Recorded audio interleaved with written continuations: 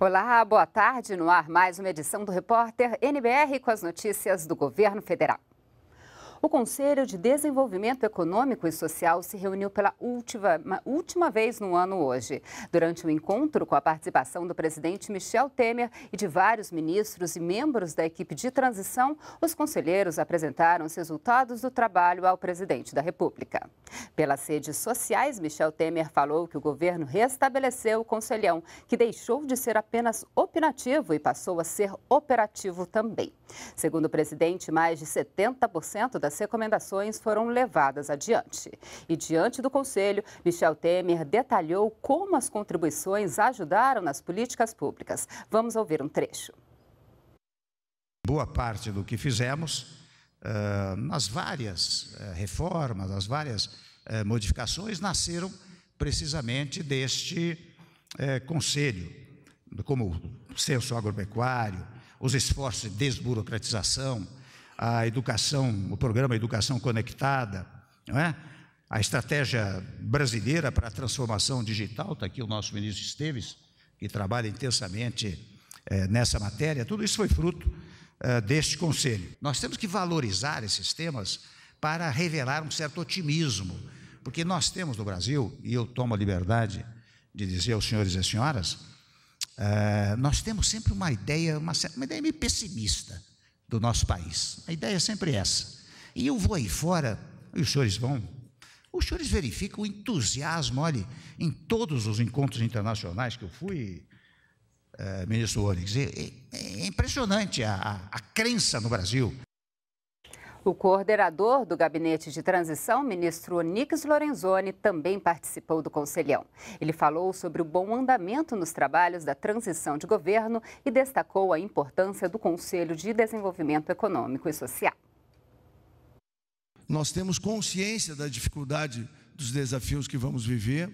Este conselho é, tem uma simbologia muito importante na medida em que ele é um canal de interlocução direta entre quem tem a responsabilidade transitória, como muito bem disse o presidente Michel Temer. O tempo passa rápido, nós temos uma missão que é temporal e que, eh, diante dos desafios, às vezes parece que os dias, as semanas escorrem pelos, pelos dedos de cada um de nós na vontade, no desejo de bem servir o nosso país. Fica aqui, presidente, o reconhecimento do novo governo e o agradecimento eh, pela forma como foi construída esta transição, eh, que é uma transição ofertada não ao novo governo, mas aos brasileiros e brasileiras, que na medida em que a relação entre aqueles que têm a responsabilidade de administrar o nosso país até 31 de dezembro desse ano e aqueles que ingressam com essa responsabilidade a partir de 1 de janeiro, a nosso objetivo é comum, é servir ao país. Então, presidente, muito obrigado aos ministros e a todas as áreas eh, do atual governo, em nome da equipe de transição, nosso reiterado agradecimento.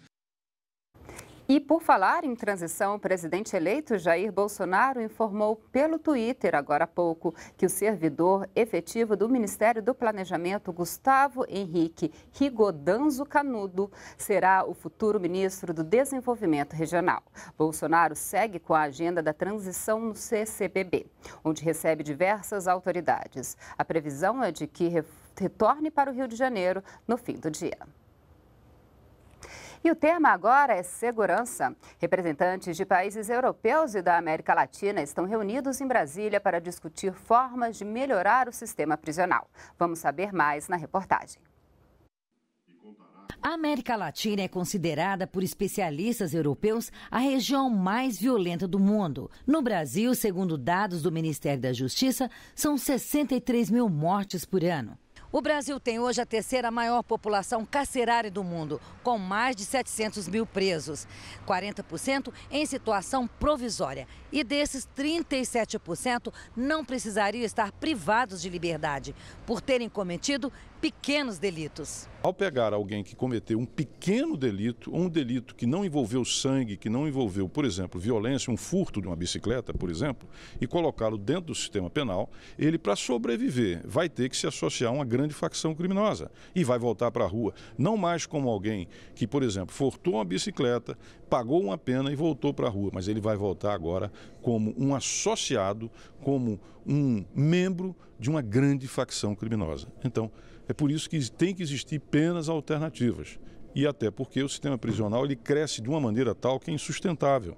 Representantes de diversos países estão reunidos em Brasília para discutir como melhorar o sistema carcerário e reduzir a violência. Esse encontro de assistência técnica tem esse objetivo de compartilhar experiências da União Europeia com o Brasil, mas lembrando aqui a gente está, né, foram convidados autoridades, gestores de alternativas penais, monitoração e todos os participantes do sistema de justiça criminal, juízes, promotores, defensores, advogados das 27 unidades federativas para se discutir o tema, tanto trazendo boas experiências, é, é, problemas que se enfrentam no, no Estado e tentar que com essa experiência da União Europeia se possa avançar em relação a essas medidas. E o governo federal lançou ações para combater a violência sofrida por mulheres dentro de casa. Além de um plano nacional, agora o combate à violência contra a mulher conta também com um sistema que vai envolver municípios, estados e o Distrito Federal na execução de políticas públicas.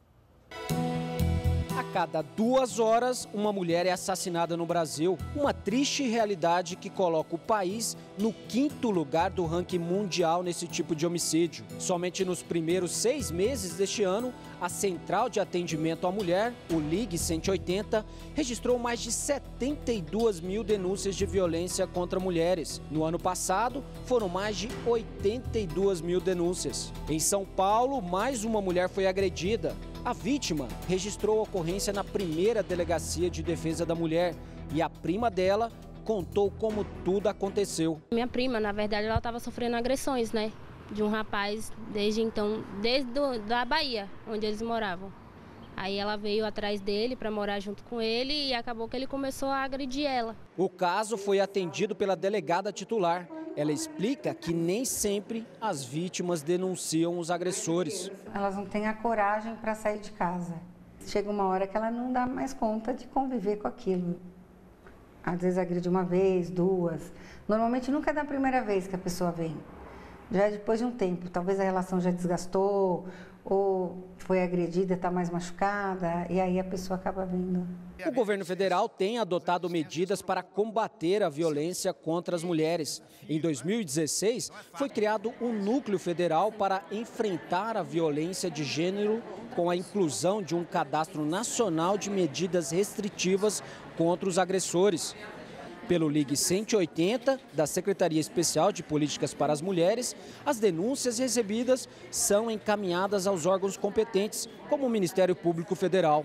A campanha Você Tem Voz, lançada no último domingo, Dia Internacional da Não Violência contra a Mulher, alerta para a necessidade de denunciar os agressores. Você,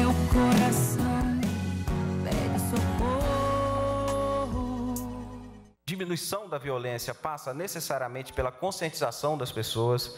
É fundamental que as pessoas se conscientizem da importância dessa pauta. É fundamental que as pessoas se conscientizem que não há limite de tolerância para a violência. Até isso é possível, a partir disso não é possível. Ou seja, violência ela não pode ser tolerada em hipótese nenhuma. E duas novas iniciativas foram anunciadas para combater o feminicídio.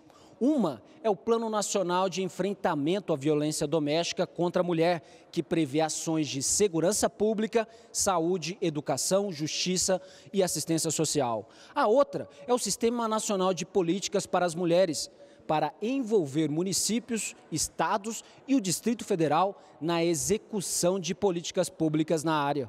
As estatísticas revelam abundantemente que em todos os estratos sociais há muitas vezes violência é, contra a mulher, que, como foi dito aqui, ela está nas ruas, no trabalho, nas escolas, mas principalmente dentro de casa, justamente onde as mulheres deveriam sentir-se, Dona Maria da Penha, mais protegidas. E o desafio não é fácil, mas superá-lo é urgente. Maria da Penha Maia Fernandes, símbolo da luta contra a violência doméstica, homenageada pela lei que leva o seu nome e pune os agressores, deu um recado para as mulheres que sofrem violência. Ela procura ser de referência. Caso ela não tenha, ela, procura, ela liga para o 180 para se orientar né, sobre o seu caso e seguir o aconselhamento do número 180, para que ela possa então se sentir segura e denunciar este agressor. Pelo Ligue 180 é possível denunciar agressões contra mulheres. A central de atendimento à mulher funciona 24 horas todos os dias da semana. A ligação é de graça e o anonimato é garantido.